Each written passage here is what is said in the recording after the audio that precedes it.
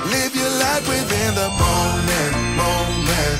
And don't go wait until the morning, morning. You never know when it is over.